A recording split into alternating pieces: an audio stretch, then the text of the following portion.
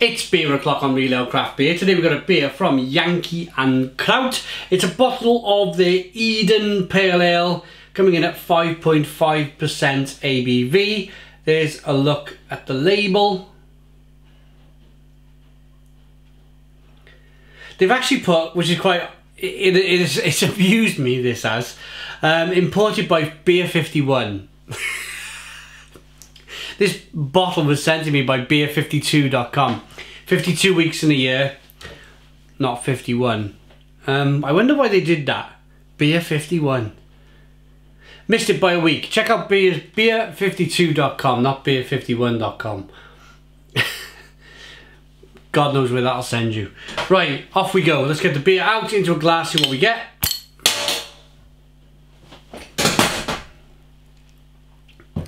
Interesting one lots of carbonation in the neck of the bottle and the the the head of the what would be the head of the beer in the glass is just kind of like falling in on itself.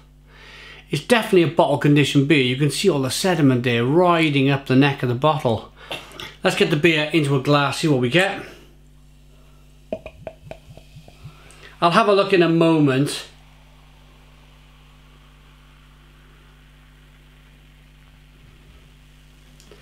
Right, we'll let the head settle down. We've got a forefinger, slightly off-white head, hazy amber bottle conditioned beer. Lots of carbonation. Uh, they're from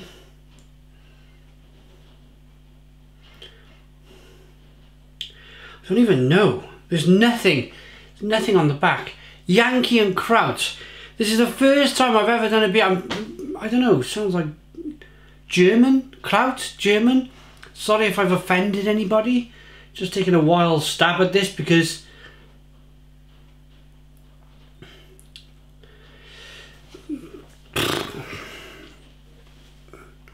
real kind of strange one that. Normally a brewer will at least give their address or their telephone number or something. You know, if there was something wrong with this beer, you'd have to Google up the the name of the brewery there and get in contact with them that way. But there's people out there who don't. They just look at the bottle and go, I'm going to contact these. DE. The website's DE, so it's, it's, it's Germany. It's a German brewery.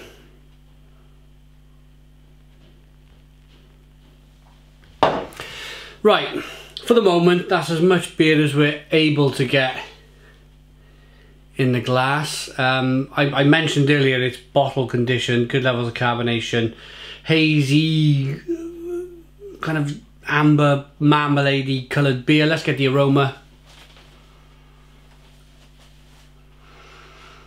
Whoa.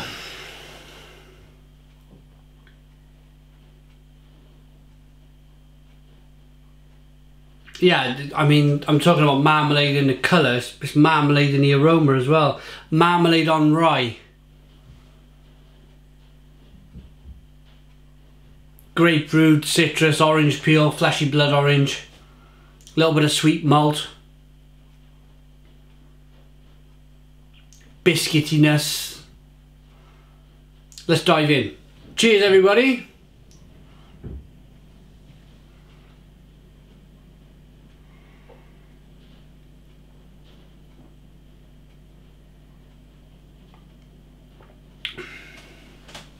Whoa, it's really carbonated, really kind of beer hisses and fizzes and pushes round the inside of the mouth. Grapefruit, orange peel, fleshy blood orange.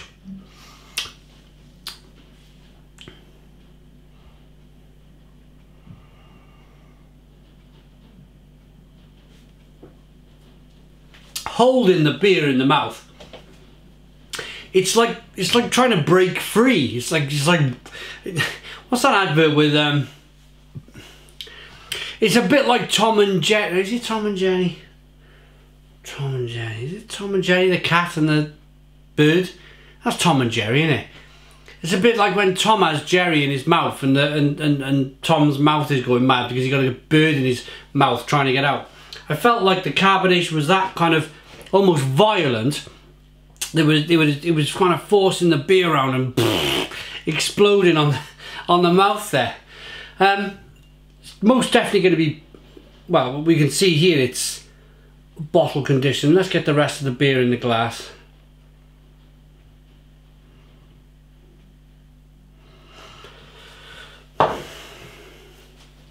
It's nice, it's very nice. Good example of a, a hoppy pale ale, American style.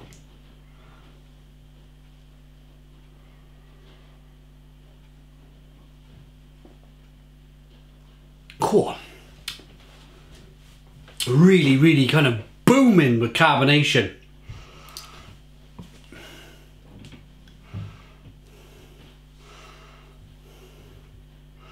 And, and lots of flavour as well. It's not just carbonation. It's, I, have mentioned blood orange, grapefruit. There's a nice balance to the beer as well. A little bit of sweetness to begin with, bitterness on the back end. It's good. It's really good. Uh, it's now time to... We're going to get the snack ball out, everybody. Um, I'm going to go straight in, because I fancy them. All these snacks were sent to me by a company called pubsupper.com. Check them out. And this is a bag of Mr. Tubs pork crackling, zingy salt and vinegar, premium hand double cooked. Unleash the hog, hand double cooked premium pork crackling with the finest ingredients and seasoning. MrTubs.net, 28 grams. Cool, oh yeah, let's Let's um, let's snackle, shall we? There we are. There's a look at them. Really nice. Oh,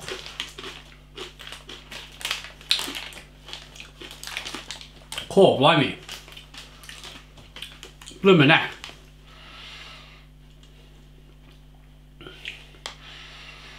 Oh, they're really piggy. they're really... Oh, they're really kind of like like you're rolling around in the in the pen with the pigs, licking them.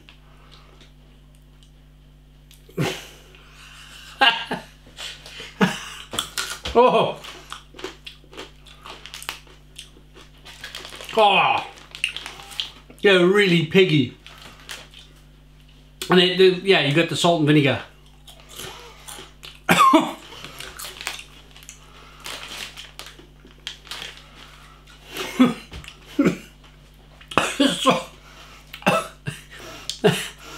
the salt.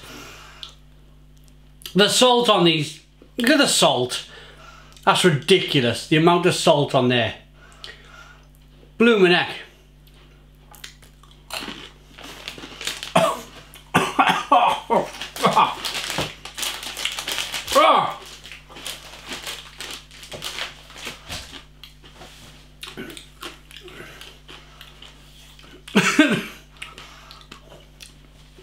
I need some beer to wash it down with.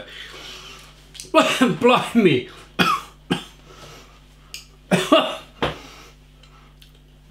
It's like half a gallon of vinegar and a whole bag of salt on that one pork scratching.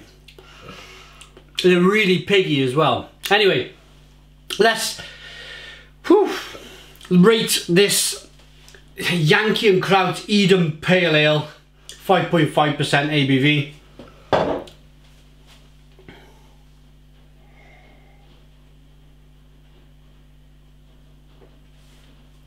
I like it, it's really good.